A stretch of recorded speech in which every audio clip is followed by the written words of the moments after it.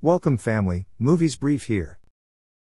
I'm going to explain a horror film called Let Her Out. Spoilers ahead. Watch out and take care.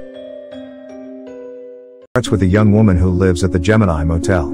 She's a prostitute. During a busy night, a shadowy figure approaches her room. She is then attacked and raped by the intruder. She later discovers she is pregnant, and desperate and alone, takes a pair of scissors to her unborn, killing herself in the process, but the child survives.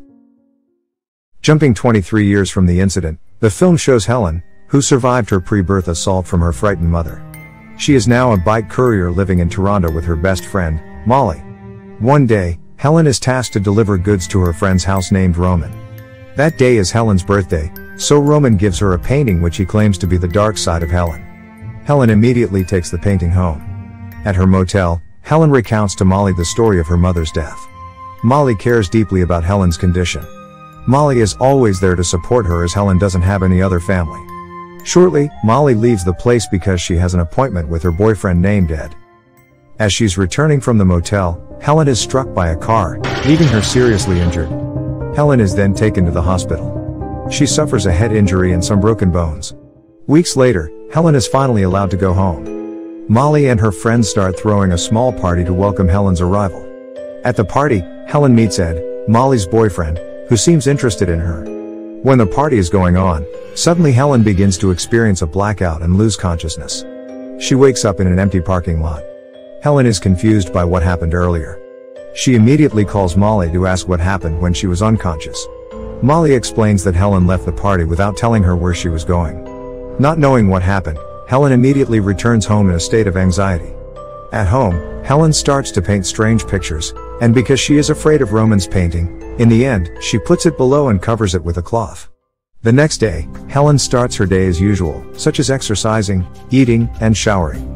Just as she finishes taking a shower, suddenly she starts seeing a strange figure.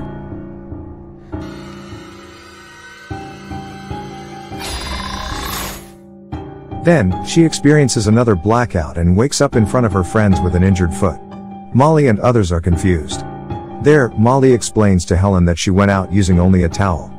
For several hours, Helen had disappeared. And returning home, Helen's foot is already bleeding. Helen begins to remove the broken glass from her feet. The next day, Helen and Molly go to a doctor named Dr. Headley to consult about what is happening to Helen.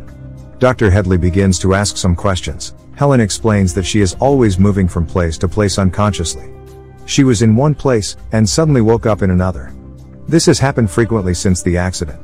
Furthermore, she frequently sees a black shadow. After hearing her explanation, the doctor decides to perform a CT scan on her brain, and the results will be out the next day. Helen immediately returns home and goes straight to bed.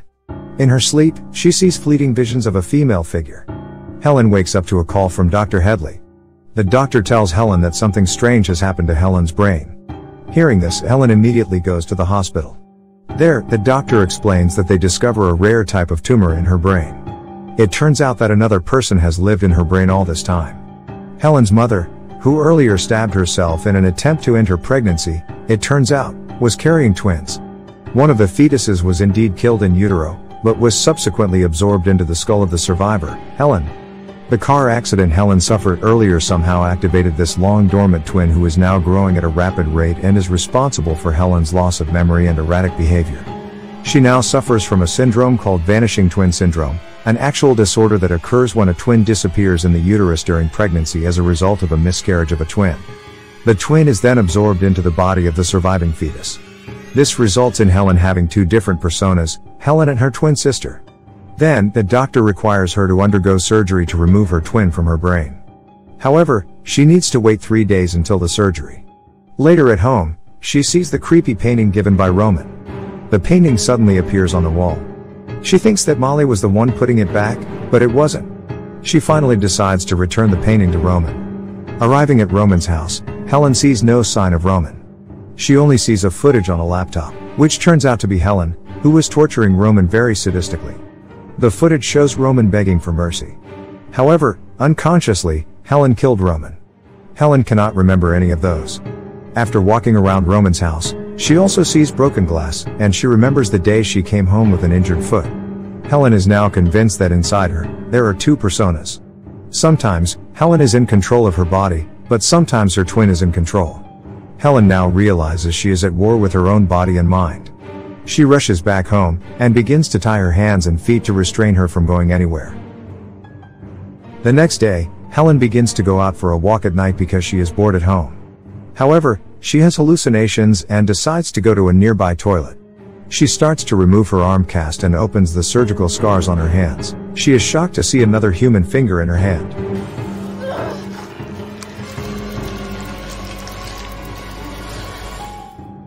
Then, she decides to leave that place.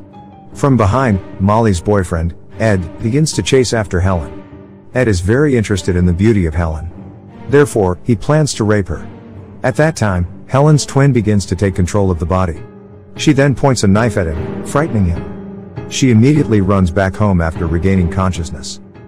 At home, Molly then tells Helen to stop painting weird, scary pictures. But Helen reveals that she was not the one drawing the pictures. They have a debate until finally, Helen's body is taken over by her twin and starts attacking Molly.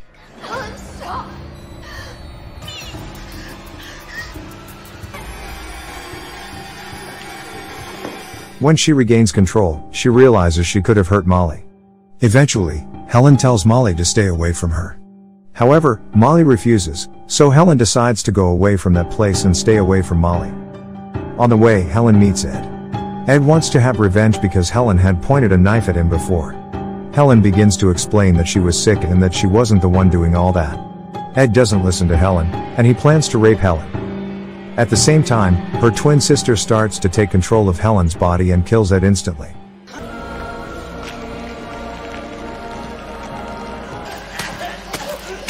After killing Ed, Helen regains her consciousness and sees that Ed is now dead.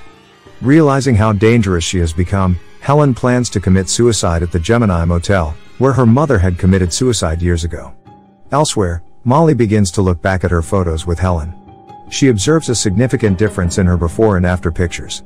She notices a shift in her personality as well. She finally concludes that within Helen's body, there are two different people. And the one who attacked her was not Helen. Molly immediately calls Helen to find out where she is. Helen says goodbye, revealing that she is going to commit suicide at the Gemini Motel. Hearing this, Molly immediately uses her bike and goes straight to the motel. When Helen has just arrived at the motel and about to commit suicide, her twin begins to take control of her body. Molly then arrives at the hotel. However, it is too late. Her twin has completely controlled Helen's body. She immediately attacks Molly.